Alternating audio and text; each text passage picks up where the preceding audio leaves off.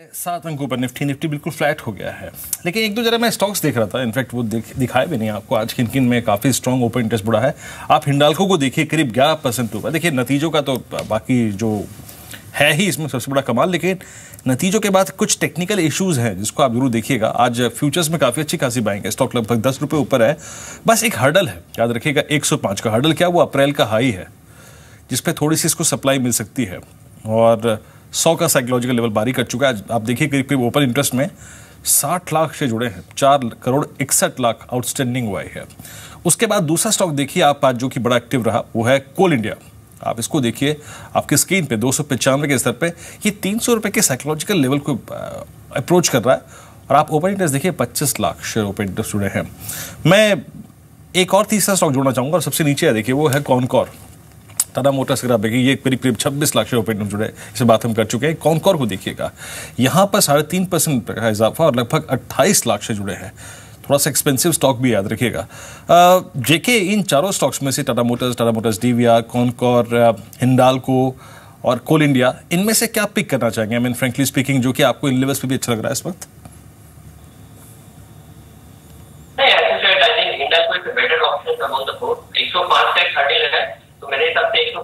पाँच का कॉल कभी कीजिए आज काफ़ी हद तक चला है, ग्यारह परसेंट चला है।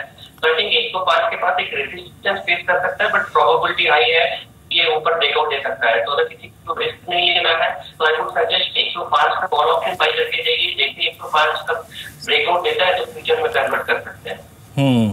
चलिए, जय इनफैक्ट जगह आपकी कॉल्स के बारे में बात करते हैं। आपने पहला एक कीपेटी टेक्नोलॉजीज़ बात की है, जिस पर आप लॉन्ग कॉल ले रहे हैं मिड कैप आईटी में। यहाँ एग्जैक्टली क्या आपने देखा और क्या टारगेट्स और क्या ऐसे लेके चल रहे हैं आप?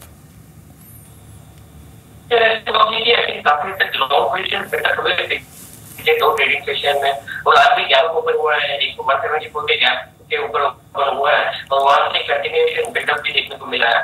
और टेक्निकली भी रेजिस्टेंस का सिक्स के आसपास उसको ब्रेकआउट दिया गया है। ये स्टॉक उसके ऊपर क्लोजिंग दे देता है तो आई थिंक ये बिल्डअप के आगे हो सकता है। और ऊपर के स्तर पे वन नाइनटी का एक लक्ष्य लगा के मैं करने के लिए दूँगा। और इसका स्टॉप लॉस जो होगा डे लो है जो गैप है अगर ये गैप नहीं कर देता है तो जो मोमेंटम है वो खत्म हो सकता है। तो ओवरऑल वन सेवेंटी फोर का स्टॉक वाला भी करने के लिए दूँगा। फिर आपने दो स्टॉक्स और लिए हैं, जेके एल हाउसिंग फाइनेंस और एक ऑरविंदो फार्मा को आपने फार्मा स्पेस में पिक किया है। इन दोनों स्टॉक्स पे आपका आउटलुक क्या है? एक चार सौ लगा के, ऊपर में एक चार सौ का लगा के करने की सलाह दूँगा। स्टॉक में भी देखिए, काफ़ी हद तक लॉन्ग जो फंसे थे, वो कटे नहीं है। क्लियरली रोल हुए थे एप्रिल सीरीज़ से जून सीरीज़ में। तो क्लियरली इंडिकेट कर रहा है कि लॉन्ग टर्म बेसिस पे या मीडियम टर्म बेसिस पे अभी भी इसके जो लॉन्ग पोजीशन है वो ऑन है। तो आई थिंक स्टॉक जब भी गिरावट देखने को मिलता है अच्छी खासी तेज़ी से वॉल्यूम के साथ बाइक देखने को मिलता है और V shape kind of recovery देखने को मिलती है। तो आई थिंक स्टॉक में लॉन्ग करना चाहिए ऊपर में चार सौ पिछहत्तर का लक्ष्य लगा के। और तीसरा स्टॉक हमारा है तो फार्मा स्पेस देखिए काफ़ी हद तक वीकनेस दिखा रहा है। ओवरऑल रहा है को एक को साइड देंगे। तो आई थिंक ओवरऑल स्पेस में भी एक उछाल देखने को मिलता है प्रेशर देखने को मिलता है। इस स्टॉक में भी रिटर्न है बट ओवरऑल इस स्टॉक में एक शॉर्ट पोजिशन बिल्डअप देखने को मिला है। तो मैं करीब सात सौ पिचासी का लगा के शॉर्ट करने सलाह दूँगा। नीचे में सात सौ चालीस का एक लक्ष्य लगा सकते हैं। यहाँ पे आपने एक ऑप्शन भी पिक किया है जेके एग्जैक्टली exactly वेदांता पे। आप इस पर क्या अप्रोच लेके चल रहे हैं और क्या टाइमलाइन रखे हैं इस स्टॉक के लिए? अगर स्टॉक देखिए आई थिंक 95 के आसपास एक सपोर्ट लिया था एक करेक्शन देखने को मिला था जब ये स्टॉक एप्रिल में करीब करीब एक सौ बारह एक सौ तेरह का हाई देखने को मिला। उसके बाद में 95 में अच्छा खासा लो पोजिशन बिल्डअप देखने को मिला है। हाई बीटा स्टॉक है तो टू प्ले ऑप्शन साइड अगर ये ट्रेंड रिवर्स है जो 95 से सपोर्ट लेके अगर सच में रिवर्स कर रहा है।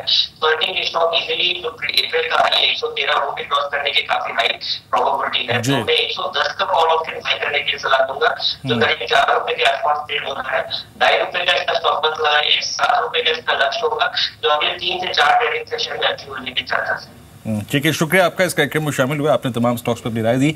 एक बार निफ्टी का मैंडेट लेते हैं, फिर अगर आप देखें सारे स्टॉक्स उन पर बात कर लेते हैं। हालाँकि कार्वी की वेदांत में जो कॉल है 110 की कॉल खरीदनी है चार रुपए में और लगभग लगभग सात के लक्ष्य के लिए ढाई रुपए के स्टॉप लॉस के साथ आप कामकाज कर सकते हैं।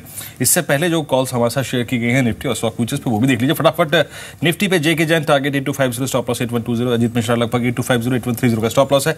अगली स्लाइड पे आइए। दो मिनट्स और है भी निफ्टी पर और उसमें अगर आप देखें, नीरव छिड़ा लगभग एट टू एट ज़ीरो का लक्ष्य stop loss at one four zero का और दीपक का अगर आप देखें एट टू सिक्स ज़ीरो का एट वन फोर ज़ीरो का स्टॉप लॉस है। उसके बाद स्टॉक फ्यूचर्स अगर आप देखिए तो आज जिन पर आज लॉन्ग कॉल ली गई है, उसमें के पी टेक्नोलॉजीज़ लक्ष्य करीब 190 का स्टॉप लॉस 174 का एल हाउसिंग फाइनेंस 485 का टक्ष का टारगेट है और करीब 462 का स्टॉप लॉस है। अगली स्लाइड में आप देखिए तो अरविंदो फार्मा पे एक सेल कॉल है 740 का अगर आप देखें तो लक्ष्य है। स्टॉप लॉस 785 का और यूपीएल अगर आप देखें 650 का लॉन्ग है। और स्टॉप लॉस करीब 570 का है। और इसके बाद India Cements mid cap cement space में 98 का लक्ष्य और स्टॉप लॉस 90 का और टाटा मोटर्स ये करीब 432 के लक्ष्य के लिए स्टॉप